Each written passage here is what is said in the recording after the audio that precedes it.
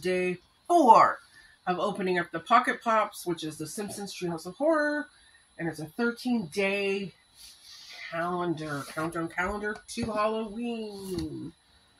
So, day four. I finally get to unbox one. Who's it gonna be? Maggie. Well, I said Lisa. I said I was gonna do Lisa every single day until I got Lisa, but I think it's Maggie.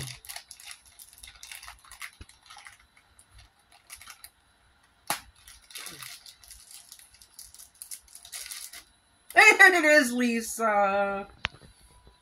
Lisa with the little devil's costume.